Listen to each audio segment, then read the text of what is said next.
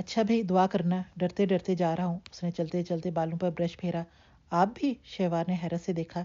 तुम्हारे भी बाप हैं बाबा वो शरारत से कहता हुआ बाहर निकल गया। शहवार ने वज़ू करके जल्दी से नफल पढ़े पराए हाज, कज़ाए हाजत पढ़ना शुरू कर दिया। वक्त और माहौल से बेनियाज होकर दर हकीकत उसकी जान सूली पर टंगी थी। उसने जहर की नमाज़ भी पढ़ ली, मगर जाय नमाज़ से ना उठी। जाय नमाज़ एक मज़बूत किला महसूस हो रही थी, लगता था जैसे यहाँ से उठते ही किसी मुश्किल में फंस जाएगी। दोपहर तो का खाना भी नहीं खाया था। नबीला, अनीला, शमाइला कई बार उसे देखकर जा चुकी थी। शाम के पाँच बजे तो उसकी हौलाक वहशत बनने लगी। या अल्लाह, सब सुबह से गए हुए हैं, कुछ हो ना गया हो, अल्लाह न करे। वो तो कमरे में ही बंद हो चुकी थी। तब उसने फैजान की आवाज़ सुनी, जो दस्तक देकर कह रहा था, भाभी जान, बाहर आ जाइए, आपके घर वाले आ गए हैं। शहवार की टांगें कांपने लगीं। जैसे ही दरवाज़ा खोला, सामने नीलोफर को पाया, वो एक चीख मारकर उसे लिपट गई। इतना रोए हैं कि आपा, कि अब तो हँसी हमारा हक हो गई है, वो रोते हुए कह रही थी। लो भाई, इनके रोने और हंसने का डिज़ाइन एक ही है। एहसन की आवाज़ करीब से आई। शहवार ने फ़ौरन सर उठाकर उसकी सिम देखा। उसने सबकी नजरी बचाकर विक्ट्री का निशान बनाया। उसे जैसे यकीन ना आया, वो भागती हुई ड्राइंग रूम में आई थी।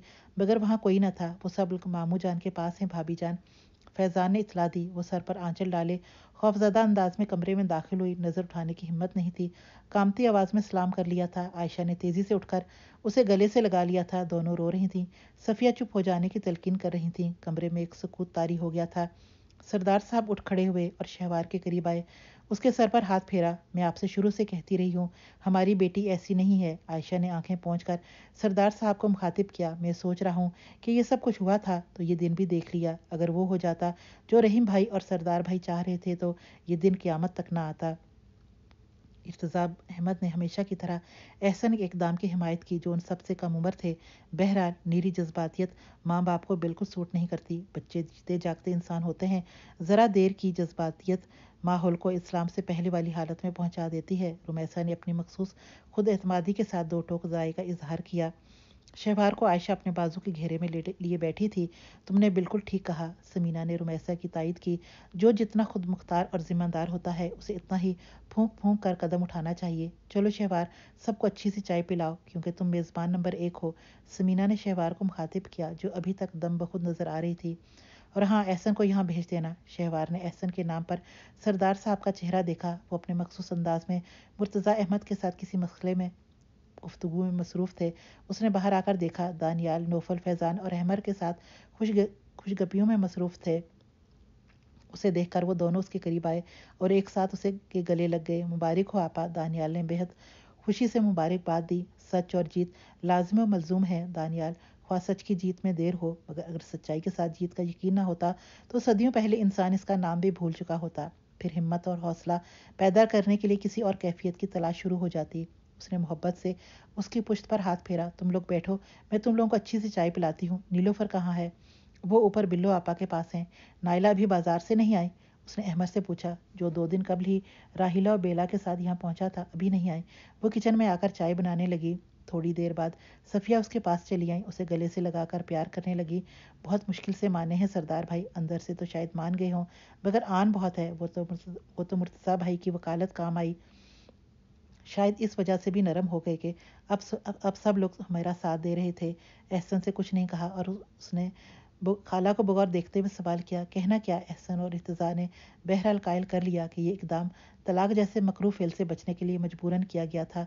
खैर तुम फ़िक्र ना करो आहिस्ता आहिस्ता सब ठीक हो जाएगा। वो उसको तसली देकर बाहर चली गई। मेहंदी वगैरह का सिलसिला तो रखा ही नहीं गया था। फिर भी नायला के दो तीन चक्कर शकीला की तरफ़ लग गए थे। रूबी और तमाम घर वालों का शकीला खसूसी ख्याल रख रही थी। नूरबानो उसके साथ थी। मुनज़ा भी शकीला का हाथ बटा रही थी। फिर भी नायला वहाँ आकर दो तीन मरतबा देख गई थी। रिसीव करने तो इनाम अली, बाबर और हसन गए थे। खातन में से सफ़िया, शकीला और समीना गई थी। नायला बिलाल के साथ आई थी। राज़ी और इनाम अली लॉन में बैठे हुए थे। नायला उधर ही चली आई। अस्सलाम और सुनाइए कैसे मिजाज हैं? वो लॉन में चेयर पर बड़ी मुतमिन बड़े मुतमिन अंदाज में बैठ गई। ब्यूरोक्रेट भी आप हैं, पॉलिसी साज भी आप हैं। मिजाज तो आप ही ने बनाना है, राज़ी मुस्कुरा दिया। पॉलिसी साज अच्छे हों तो रोशन मुस्तकबिल के वाज इम्कान होते हैं नाइला ने मुस्कुराकर जवाब दिया। आपका क्या ख्याल है इनाम भाई? हम, मैं हर अच्छे ख्याल के साथ हूँ। उन्होंने फिर हंसकर जवाब दिया अंदर नाइला की आमद की खबर पहुँच गई तो रूबी और शकीला दीगर मेहमानों के साथ वहीं चली आईं और यूँ गुफ्तु के आदाब अंदाज भी तब्दील हो गए। कल बारात थी, इसी हिसाब से मसरूफियात का रंग था। नाइला शकीला के साथ तबादला ख्याल करके वापस आ गई थी। एहसन की तरफ़ बारात की आमद के बाद इस वक्त नहायत दिलचस्प सूरत हाल पैदा हो गई, जब असद अपनी वालदा के हमरा तकरीब में शरीक हुए। वो नाइला के मधु करता मेहमानों में शामिल थे। एहसन शहवार को फ़ौरन बुला लाया था, जो सर को मौजूद देखकर खासी हैरान परेशान नज़र आने लगी थी, मगर उसे पहचान कर बहुत खुशी हुई वो कि वो उनके रिश्तेदारों में शामिल हैं और नाइला के देवर हैं। फिर उन्होंने अपने वालदा का सबसे तारुफ करवाया। एहसन की वालदा से खसूसी जज्बात के साथ मिला, जिसके बेटे ने अपनी माँ को बड़ी शख्सियत के तौर पर मुतारफ़ करवाया था। बाबर की वालदा महर अफरोज़ भी आई हुई थी, जो अपनी भाभी और असद की वालदा शाहबानों को वहाँ देखकर कम हैरान ना थी। असद ने बता दिया, बताया। वो तो इस दिलचस्प सूरत हाल से बहुत पहले लुत्फानंदोज हो चुके थे, जब एक कार्ड उन्हें नायला की तरफ़ से, फिर वही कार्ड एहसन की तरफ़ से मौसू हुआ था। शकीला और नूरबानो की तरफ़ से खाला भी खसूसियत से मदू थी और अब महफिल में अपने शोशे छोड़ रही थी। अच्छा ये बताएँ, आप क्या पसंद की शादी करेंगे? वो बड़ी तहजीब से, असद से मुखातिब थी। अरे, बिल्कुल नहीं। इसलिए कि मैं अपने वालदेन की पसंद को, अपनी पसंद से ज़्यादा मुकम्मल और मैारी समझता हूँ। पूछ लीजिए आप मेरी अम्मी से, असद ने जान बचाने की कोशिश की। हाँ भाई, हम खुद अपने बेटे के लिए बहुत अच्छी लड़की की तलाश में हैं।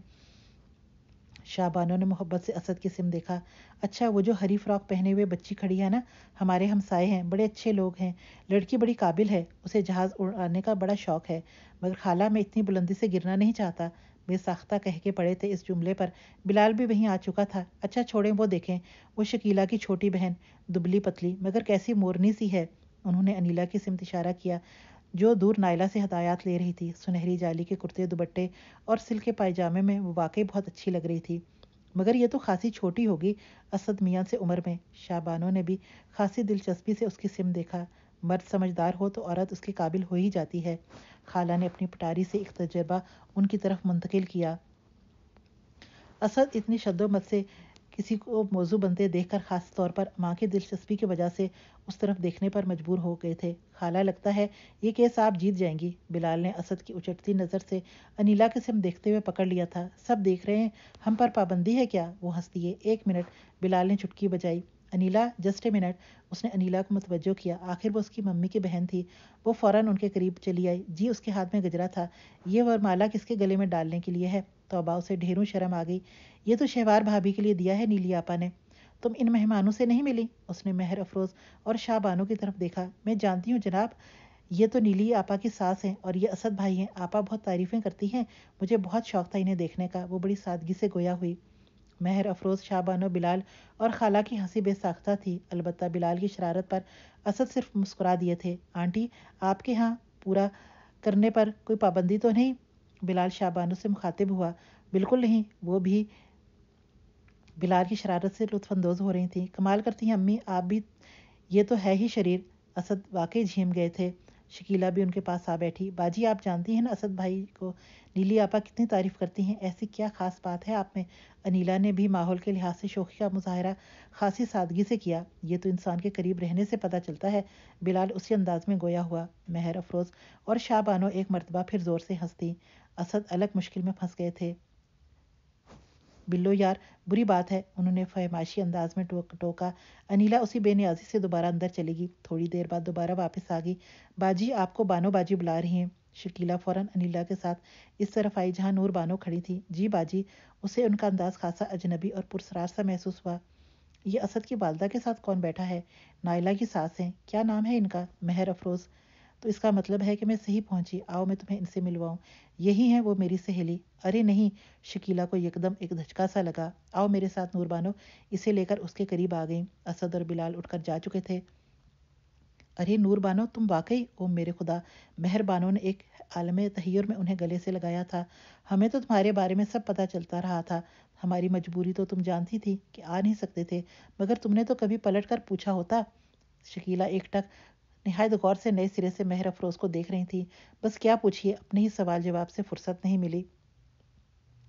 भाभी ये मेरी दोस्त हैं, स्कूल साथ जाते थे हम। महर अफरोज़ ने शाह बानो से तारुफ करवाया। फिर शकीला के से मतवजो हुई। बैठो ना शकीला, खड़ी क्यों हो?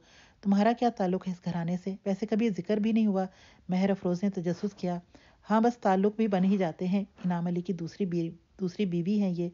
वो बहुत आहिस्तगी से गोया हुई। महर अफरोज ताजुब से नूर बानो को देखने लगी। ऐसे दिल फेंक तो ना थी इनाम अली ये बताओ, जब पल पल की खबर थी तो इस खबर पर हैरान क्यों हुई? नूर बानो बड़ी उदासी से पूछने लगी, मुझे तुम्हारी खबर रही है, इनाम अली की नहीं? महर अफरोज, कुर्सी खींच कर नूर बानो के मजीद नज़दीक हो गई। बस इन्हीं खबरों की वजह से ये खबर बनी है, वो यासियत से बोली, खाना खाने के बाद आराम से बताऊँगी, इनाम अली से नहीं मिलोगी? मेरे ख्याल में इसकी कोई ज़रूरत तो नहीं? महर अफरोज़ ने कहा और फिर इन बातों का दोहराने से क्या फ़ायदा? सब अपनी अपनी ज़िंदगियाँ अपने अपने अंदाज में गुजार रहे हैं और गुजारना भी चाहिए। शकीला इन्हें मसरूफ़ देकर उठकर चली गई थी। अच्छा तुम बैठो। अगर चाहो तो साथ चलो, अंदर निकाह हो रहा है महर अफरोज़ उठ खड़ी हुई। भाभी, आप बैठिए। अभी आती हूँ मैं महर अफरोज़ नूर बानो के साथ चल दी। अंदर आई तो सामने ही इनाम अली निकाह के कागजात उठाए खड़े थे। नूर बानो के साथ महर अफरोज़ को देखकर बुरी तरह चौंक गए। अस्सलाम वालेकुम महर अफरोज़ ने अपनी हालत पर काबू पाकर आम से अंदाज में सलाम किया। आप पहचान तो गए होंगे, वैसे ये बाबर की वालदा हैं नूर बानो ने कहा। इनाम अली एकदम गुमसुम से नज़र आने लगे, फिर यकलख पलट कर नबीला के सिमत बढ़ गए। नूर बानो को महर अफरोज से दोबारा तफसीली बात करने का मौका ही ना मिल सका। वो शकीला और इनाम अली के साथ रुखसती से पहले ही घर आ गई थी। कि यहाँ भी बहुत से काम निपटाना थे। मेरे ख्याल में अगर महर अफरोज़ आ ही गई थी तो उनसे मिलाने की कोई ख़ास ज़रूरत तो नहीं थी। क्या रखा है इन सब बातों में? इनाम अली नूर बानो के कमरे में आकर उनसे मुखातिब हुए। मैं आपको ये बताना चाहती हूँ कि अभी सब लोग मौजूद हैं। आप चाहें तो इन्हीं से मेरा जुर्म पूछ सकते हैं। मेरे हाथ साफ़ हैं, सारी गवाहियाँ मौजूद हैं। वो पहली बार खासी तलखी से गोया हुई। मुझे किसी भी गवाही की ज़रूरत नहीं। मैं सब कुछ भुला चुका हूँ। वो बरहम अंदाज में कह रहे थे, नहीं, आपने भुलाया नहीं। अगर भुला दिया होता तो मेरी ये नाक सज़ा ख़त्म हो गई होती।